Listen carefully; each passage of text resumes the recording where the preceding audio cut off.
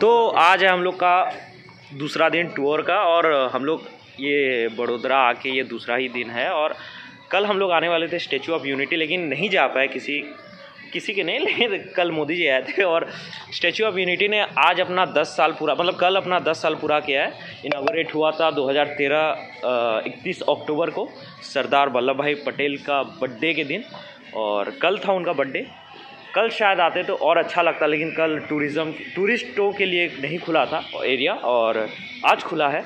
आज के बाद से हर दिन तीन दिन बंद था पहले। और एक्चुअली मैं मैं सोचता था कि हाँ उसके नीचे के एरियाज़ में काफ़ी बड़ा मतलब जो भी एनवायरनमेंट सेट किया गया है लोगों के लिए, घूमने के लिए, काफ़ी बेहतरीन है। लेकिन अगर आप इस एरिया को आएँगे, नर्मदा रिवर के ऊपर जो बना है, काफ़ी बेहतरीन है, और मतलब काफ़ी खूबसूरत है। तो मतलब ऐसा नहीं है कि आप सिर्फ़ आएँगे और स्टेचू ऑफ़ यूनिटी घूमेंगे। इसके साथ साथ जो भी एनवायरनमेंट सेट किया गया है लोगों के लिए, जैसे कि ग्लो गार्डन है, यहाँ पे डायनासोर पार्क है और उसके साथ साथ काफ़ी होटल्स है और बहुत बेहतरीन कैफ़े मैकडोनल्ड है, मेरे को नहीं पता था। ऑब्वियसली इतना बड़ा एरिया है होगा ही, लेकिन मेरे को सही में नहीं पता था कि यहाँ पे मैकडोनल्ड और स्टारबक्स ही है। तो सही है बहुत।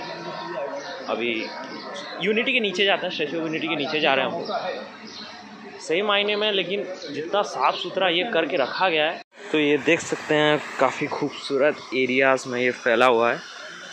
River bank of Narmada statue of unity तो जब ये बन रहा था शुरुआत के दिनों में तो लोग काफ़ी क्रिटिसाइज़ कर रहे थे कि इतने बड़े पैमाने में, इतना बड़े एरिया में इतना बड़ा इन्वेस्टमेंट क्यों हो रहा है? सिर्फ़ एक स्टैचू पे, लेकिन अगर आप फ़िलहाल पे सब एरियाज़ को देखेंगे तो बहुत ही बेहतरीन एनवायरनमेंट सेट किया गया है टूरिज़्म के बेस्ड पे बेस पे। और यहाँ पे आप नर्मदा नदी नदी को भी देख सकते हैं कितना साफ़ सुथरा रखा गया है। उस तरफ़ आप काफ़ी different kind of areas cover कर सकते हैं। हर एरिया में एक तरह का अपने अपने ही तरह का टूरिज़्म तो अगर हम लोग आप हिस्ट्री की बात करें तो जितने भी हमारे फ्रीडम फाइटर्स थे तो उन्होंने तहे जान से और तहे दिल से देश की सेवा की थी। लेकिन मेरे को ऐसा लगता था पहले भी आ, कि सरदार वल्लभ भाई पटेल का थोड़ा और जो है अंडर रेटेड रह जाता है या फिर उनकी जो पोजिशनिंग थी मे बी पॉलिटिकल व्यू में मेरे को नहीं पता उतना। शायद जो पॉलिटिकल बेस्ड या बैकग्राउंड से आते हैं उनको ज़्यादा पता होगा लेकिन वो अंडर रेटेड रह जाते थे और बहुत से एरियाज़ में उनको आ, क्या कहेंगे? क्रेडिट नहीं दिया जाता था। जैसे कि जब इंडिया इंडिया ने इंडिपेंडेंस लिया अंग्रेज़ों से, उसके बाद ही टुकड़ों में थी सारे देश टुक मतलब इंडिया के अंदर ही काफ़ी स्टेट्स थे और वो एक कंट्री नहीं थे तो सरदार वल्लभ भाई पटेल ही थे जो उनको एक वन कंट्री के मतलब प्लान पे उनको लेके आए और फिर हमारा भारत बना। तो सल्यूट टू दिस मैन की उनको ये डेडिकेट किया गया और काफ़ी अच्छी बात है। ये है एस्केलेटर, जो कि आप आराम से बिना नॉर्मल वॉक किए भी जा सकते हैं और गुजराती म्यूज़िक सुन के जा सकते हैं।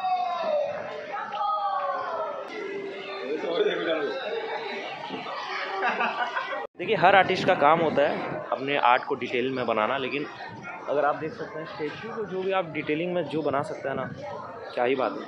तो नाम तो नहीं पता जिन्होंने इसको बनाया स्टैचू को। तो गूगल में देख लीजिएगा। या फिर मैं बता दूँगा बाद में। तो ये है पूरा नीचे का हिस्सा। कितना आप ऊँचा है देख सकते हैं। वन एटी टू मीटर्स आँखें चौंधिया जा रही है इतनी गर्मी में। वाटर स्प्रिंकल्स हो रहे हैं वहाँ पे। और ये पूरा कवरेज है। वो सरदार सरोवर डैम। वल्लभ भाई पटेल के नाम पे ही रखा गया। हम लोग आए हैं स्टेचू ऑफ़ यूनिटी के नीचे।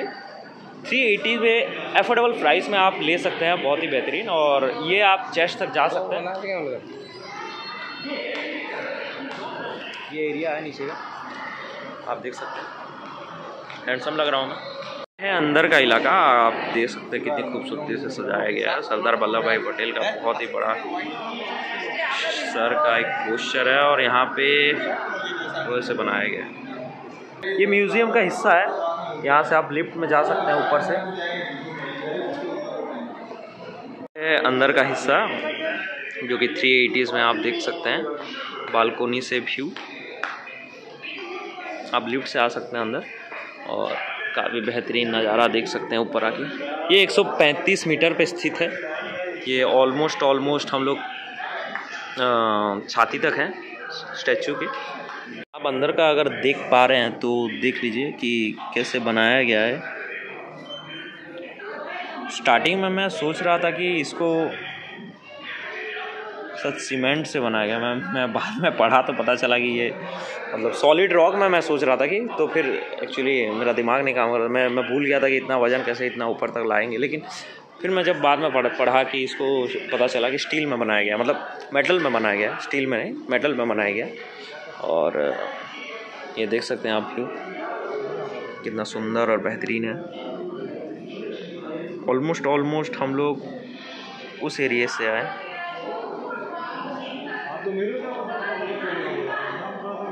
तो देखिए 135 मीटर में व्यू कैसा दिखता है?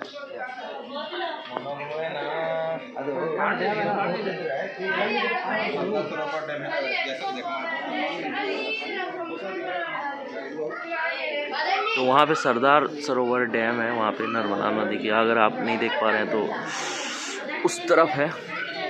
जो मैं पहले बता रहा था कि मतलब वही यहाँ पे लिखा गया है मैं पूरा एग्जैक्ट नंबर तो नहीं पता था, मेरे को भूल गया था।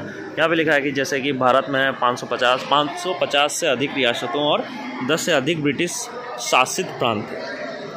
और यहाँ पे लिखा है, जैसे देखिए यहाँ पे, राजा महाराजा उन्नीस सौ सैंतालीस से पहले सम्मिलित होने के लिए सहमत होते तो उन्हें प्रीवी वर्ष का अधिकार दिया जाता। अच्छा तो सरदार एक कुशल राजनीतिक थे मित्रतापूर्ण और शांतिपूर्ण ढंग से चर्चाओं के माध्यम से लगभग सभी भारतीय शासकों को भारत में सम्मिलित होने के लिए राज़ी किया गया। यदि वे अपने राज्य के रक्षा, विदेश मामले और संचार को भारत सरकार को सौंपते तो अपनी निजी संपत्ति और शाही खिताब कायम रख सकते थे।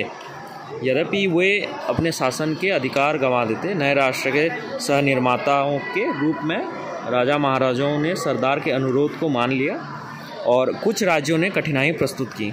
वल्लभ भाई पटेल ने दृढ़ता से उनका समाधान किया। वही बता रहा था आपको।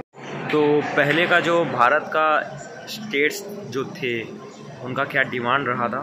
यहाँ पे आप देख सकते हैं पूरी तरह से सही से। जो पाकिस्तान जो मांग किया था अपने कंट्री के लिए, नॉर्थ ईस्ट और नॉर्थ वेस्ट और जो मूल भारतीय राज्य थे, उनका भी डिफ्रेंशिएट किया गया है। और जो ब्रिटिश इंडिया था, उनका भी डिफ्रेंशिएट किया गया है। और ये अभी का।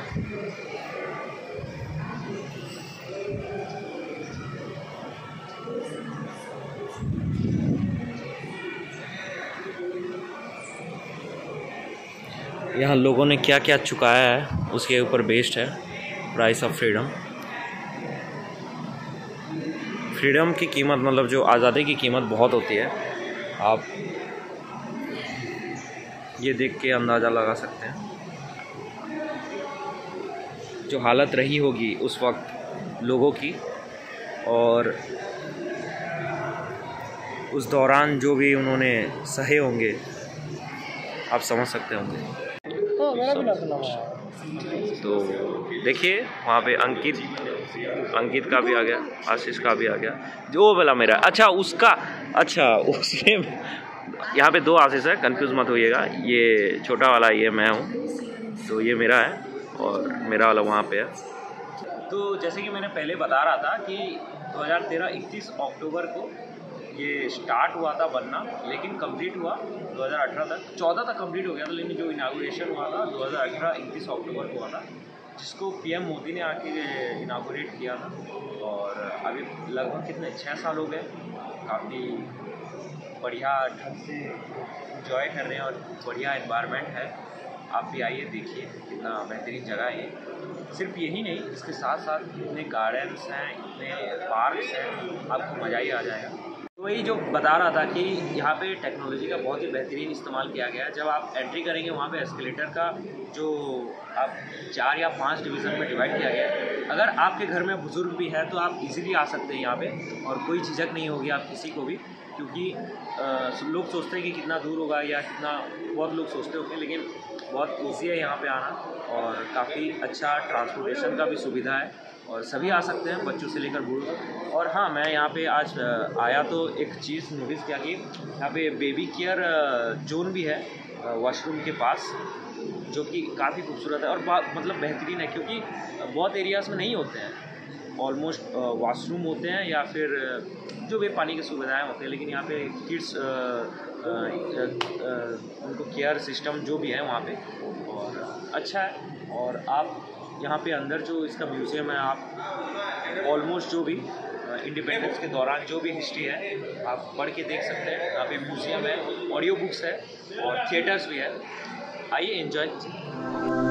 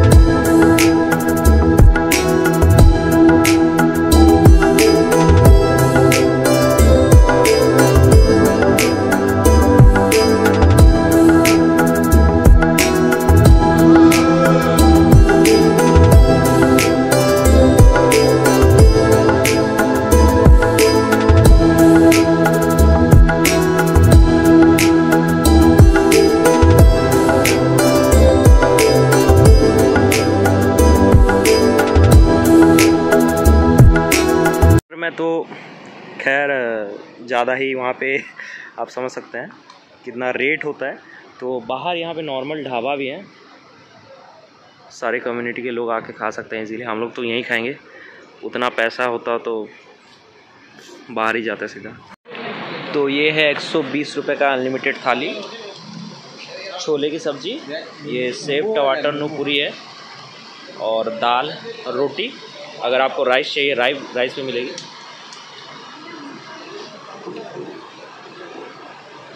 तो एक्सपीरियंस काफ़ी सही था स्टैचू ऑफ़ यूनिटी का। और अब हर चीज़, आपको हर चीज़ मिल सकती है यहाँ पे। आपको कोई दिक्कत नहीं होगी। आपको खाना पीना अगर भी चाहिए तो पास ही में रेस्टोरेंट सब है और पानी की भी अंदर तक सुविधाएँ हैं। तो कभी भी आइए एंजॉय कीजिए। और, टाटा।